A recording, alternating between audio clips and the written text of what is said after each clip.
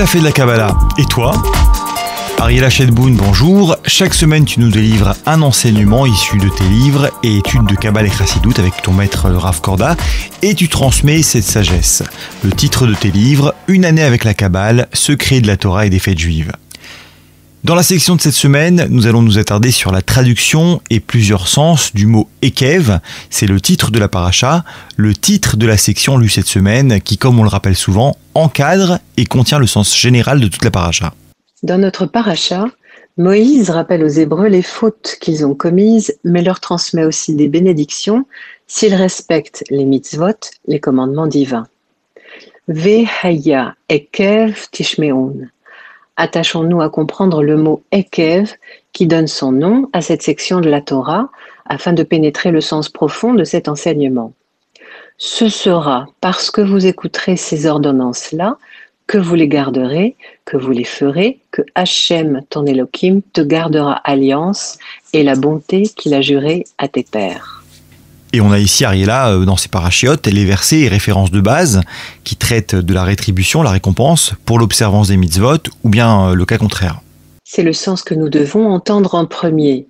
Dieu nous bénit de magnifiques bénédictions, mais ceci est assorti de conditions. L'articulation Ekev est généralement traduite en français parce que, dans le sens de à la suite de quoi, et implique un lien de causalité. Le propos central de cette paracha est donc la bénédiction que le peuple hébreu recevra si et seulement si il suit les lois de la Torah enseignées par Moïse. Alors il pourra jouir de toutes les bénédictions de la terre que l'on puisse en attendre. Pour certains commentateurs, Ekev a donc le sens de en récompense de. Alors il serait intéressant d'aller euh, plus loin dans ce mot de Ekev qui nous amène à la traduction en récompense 2. Quel est le cheminement, Ariela, pour y arriver? Et pour cela, voyons avec toi le commentaire de Rachi. Le grand commentateur français du Moyen Âge, Rachi, précise Si vous écoutez les mitzvot faciles, celles que l'homme a tendance à piétiner avec ses talons, puisque Ekev, au départ, signifie talon. L'hébreu est logique. Lorsque l'on se tient sur les talons de notre prédécesseur, on le suit littéralement, on est à la suite de. Le talon est aussi ce qui se situe au plus bas chez l'homme. Voilà, continue Rachid, ce qui se passera si vous cherchez la signification de Ekev, et serait ici évoqué les mitzvot que l'homme foule du talon, les mitzvot faciles que l'homme méprise en les piétinant du talon. Le Midrash explique le corpus des lois constitue un ensemble. Nous n'avons pas à choisir celle qui nous arrange et écarter les autres. C'est un tout et ce n'est pas à nous de décider lesquelles nous semblent applicables et les autres. Un commentaire dit La paracha commence par Vehaya. C'est intéressant. C'est l'anagramme du tétragramme, le nom divin Yotke Vavke. Il faudrait donc entendre aussi que la véritable récompense de la mitzvah accomplie est la lumière de la présence divine, Ziv que l'on entend avec Vehaya. La récompense de la mitzvah que l'on fait n'est pas seulement matérielle, elle est surtout spirituelle. Voilà donc pour ce sens de Ekev Tishmeun qui donnera la traduction en récompense de, en récompense de si vous écoutez. Ekev Tishmeun, si vous écoutez, le grand traducteur de la Torah, Onkelos, traduit en araméen Ekev par Chalaf, qui signifie en échange. En échange du fait que vous écouterez, puis en échange du fait que vous n'écouterez pas attentivement. Le véritable sujet serait donc l'écoute attentive de la mitzvah, tout autant que l'accomplissement de la mitzvah.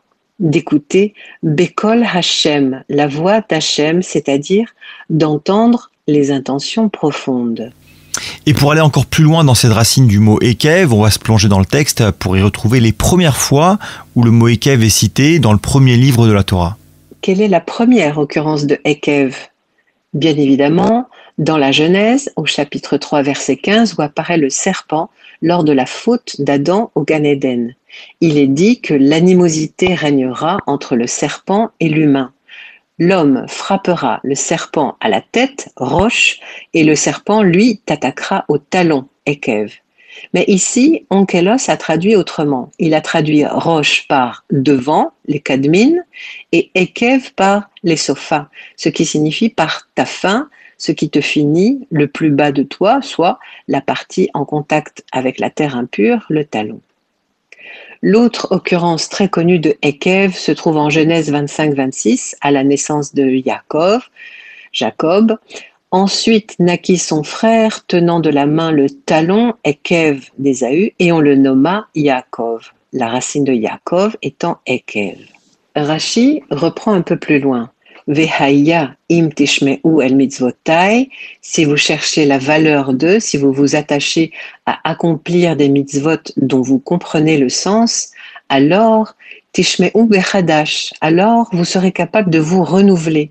Vous serez en mesure de comprendre les explications de nos sages à chaque époque et ainsi vous irez plus loin dans chaque génération, il y a effectivement des mitzvot que l'on traite avec plus de légèreté. Il s'agira donc de se concentrer sur les mitzvot qui semblent faciles à accomplir. Donc, Ekev, si vous écoutez le type de mitzvah qui est foulé du talon, alors vous atteindrez un niveau supplémentaire de compréhension et vous en recevrez la lumière de la présence divine. En résumé, ce que tu nous expliques, Ariella, c'est d'avoir un respect pour toutes les mitzvot sans les fouler du talon. Et c'est aussi grâce à ce respect que nous parviendrons à leur compréhension profonde. En résumé, la paracha Ekev nous enjoint de ne pas faire de tri dans les commandements que nous devons suivre, de les suivre tous, Chokim et Mishpatim, sans en retrancher, de les considérer comme un ensemble indissociable, un tout systémique et de considérer tout particulièrement les commandements qui semblent faciles à observer, ceux que l'on croirait pouvoir fouler du talon. Gardez donc tous les commandements que je vous ordonne aujourd'hui, alors vous serez forts et vous obtiendrez la possession du pays où vous allez pour le conquérir. Rachi se prononce sur ce hayom, aujourd'hui. Il s'agit de considérer cette mitzvah avec un regard toujours actualisé et de ne pas en faire une routine, d'observer scrupuleusement kol mitzvah, c'est-à-dire la mitzvah dans son entier, tout autant que l'ensemble des mitzvot à embrasser comme un tout. Ainsi, cette terre magnifique nous profitera sur les plans matériels autant que spirituels. Il y a encore d'autres sens à la racine ekev, aïn, kuf, bet, suivre, mais aussi tromper, duper ou encore retenir, empêcher.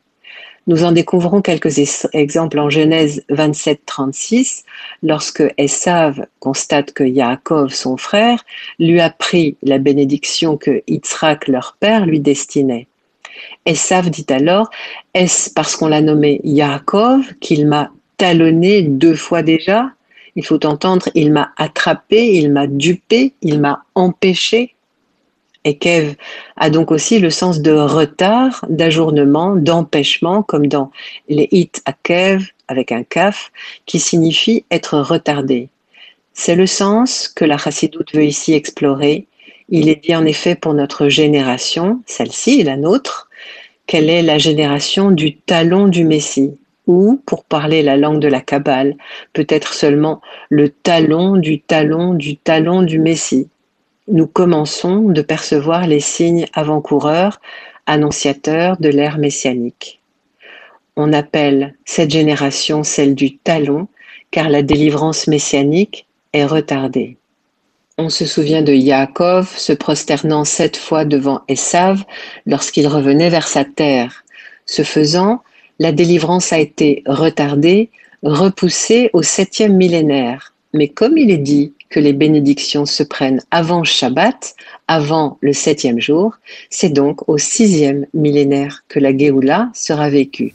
Et rappelons cette autre affirmation des prophètes d'Israël, Ishaïa, Isaïe 60, verset 22, cité euh, et débattu par le Talmud dans Sanhedrin, page 98a, Beita Achishena, en son temps, je la hâterai. Alors souhaitons qu'Hachem ne prolonge pas davantage ce temps d'attente, mais qu'on puisse y entrer de plein pied, pour faire un jeu de mots avec euh, le talon, Igveta Dimshira. Merci beaucoup Ariel Hachedboun, Shabbat Shalom Mevorach, je rappelle le titre de tes livres, Une année avec la Kabbale, secret de la Torah et des fêtes juives, à commander sur Amazon.fr. Shabbat Shalom.